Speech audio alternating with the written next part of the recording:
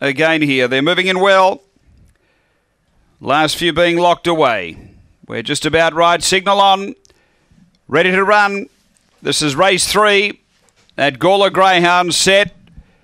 Away. And there's pace toward the inside. Lock and Bond. Let's go Magic out quickly, but Lock and Bond leads. Let's go Magic. Uh, Bad Boy Eddie out wider. Then Silver Band falls. A breakaway. Perfect prospect. Sparkling Angel and Aston Asteroid. Front runner Lock in Bond led by a length. Silver Band falls. Rails well. Silver Band falls. Takes the lead from Lock in Bond. Then Bad Boy Eddie. It's all Silver Band falls. Silver Band falls. Won it well. Lock and Bond second. Then Bad Boy Eddie behind those either Let's Go Magic or Perfect Prospect. Then Sparkling Angel and right out the back was Aston Asteroid in trouble, the favourite.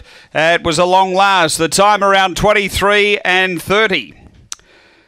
Uh, 23 22 is the run. And uh, we've got number two, the winner, which is Silverband Falls. Jamie Quinlivan, the uh, owner trainer, a fawn dog, June 2014, Cape Hawk Rustic Rita.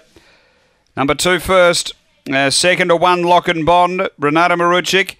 A Black Dog, July 2014, Lochinvar Marlow, Delightful Bond. And eight, which is Bad Boy Eddie.